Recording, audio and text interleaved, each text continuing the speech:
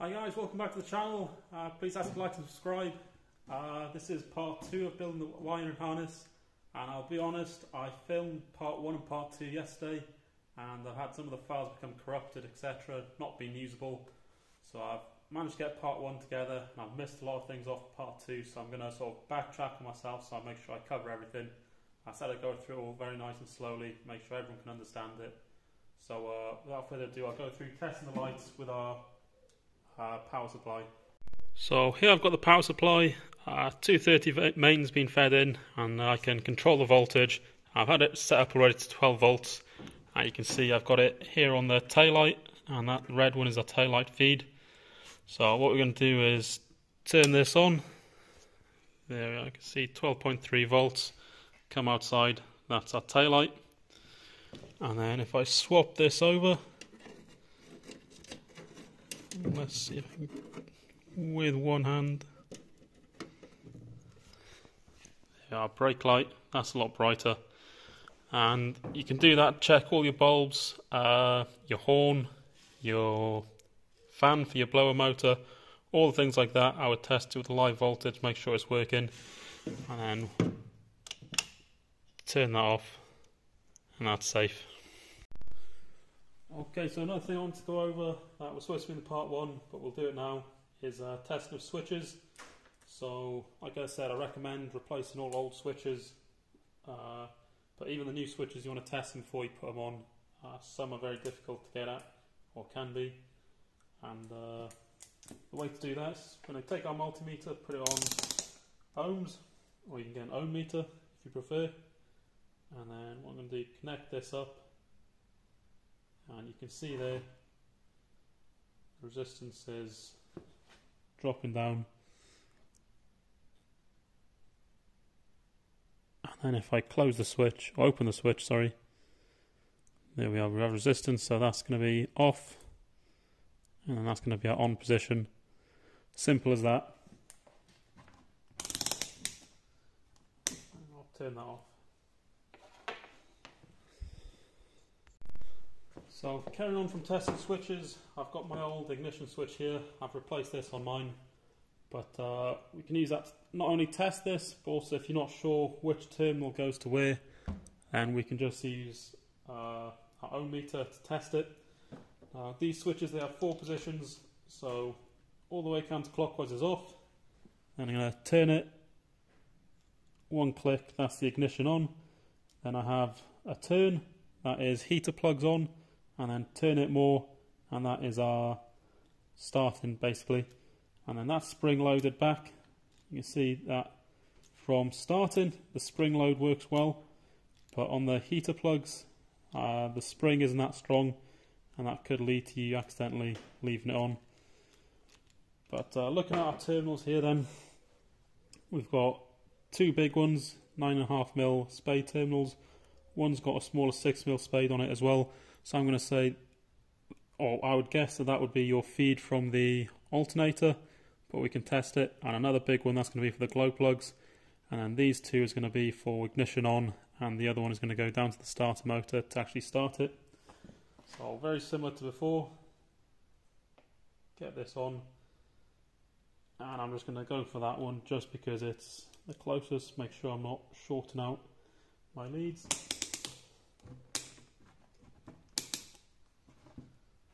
So again, let's see if you can see this. There we are. So insert my key, which is now been replaced.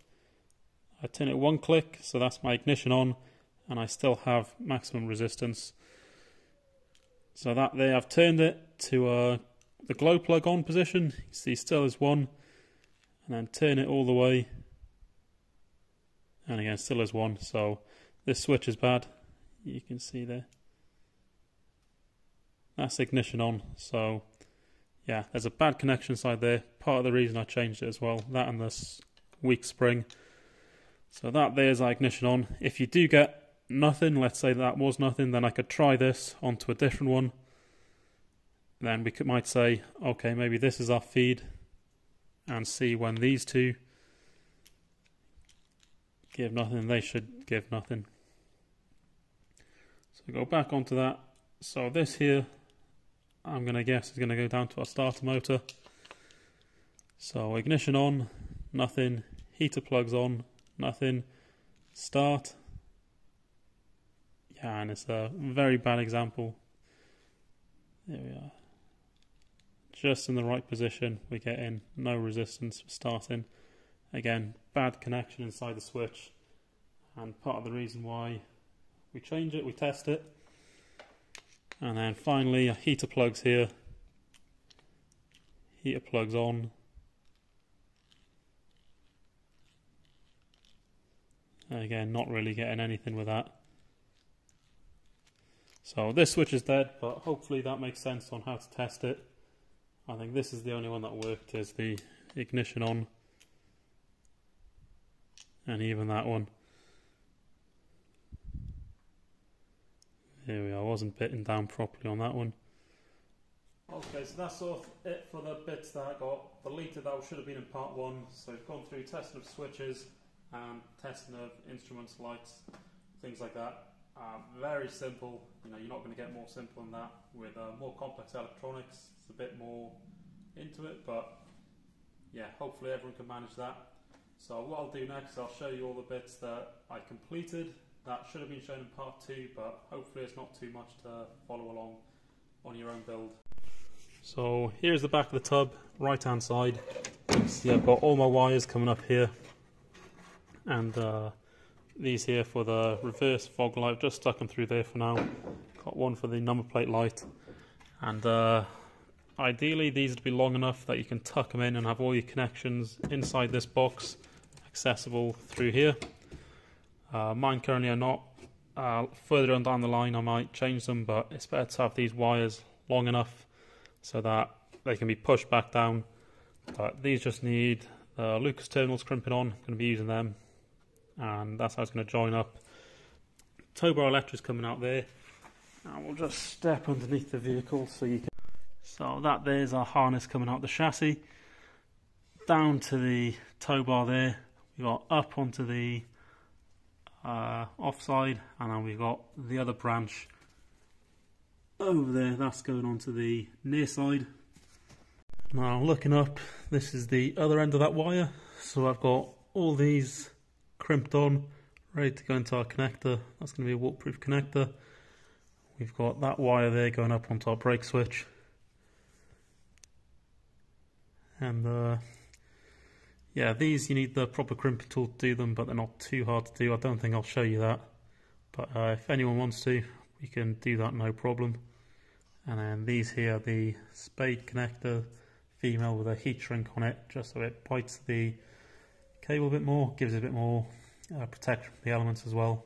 And then before I slide that on I like to put a bit of Vaseline on all the connectors and that's going to help prevent corrosion in the future help them come off. And then finally I'll show you the bulkhead. So I've got this 10 terminal fuse box on here and that's been riv nutted in there held on by two bolts. And then these they just slide out have a standard blade connect uh, blade fuses in there. New ignition switch like I mentioned earlier I think. And uh, yeah, just started wiring a few things here. The purple there, that's the auxiliary lights inside. We've got uh, new wires for all our glow plugs. So standard colour should have been yellow with a brown tracer. I couldn't get that, so I've gone for brown with yellow tracer. Do the same job. We've tested that for resistance, and they're all connected up well. Onto the ballast resistor, and then I've got a big 9.5mm spade terminal there but I want to see if I can get a fully insulated one and then I will fit those on. I can fit go down to the starter motor and the alternator and then once that's done I'm going to do as much of what I can here and then finally we'll do the lights or I'll put the wings on and then I'll run the cables for the lights and you can see in here we're still this is the uh, dip switch that's going to go in the floor of this. I've got a couple holes to drill. Uh, in here then, I've got the grommet in, got our speedo cable pulled through, And then on the wiper switch, we've tested it, that's working fine. So I've kept the original cable to this.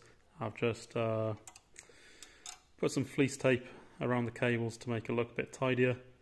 And then that's ready to be connected up. So there we are, that's part two of the video done.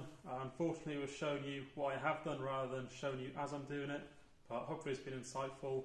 And we'll get more into the main harness on the bulkhead in the next video. If there's anything in specific you want to see or anything you think I've missed, just let me know in the comments and I can try and include that in the next videos or one of the videos of the series. Uh, but yeah, if you found it insightful, please like and subscribe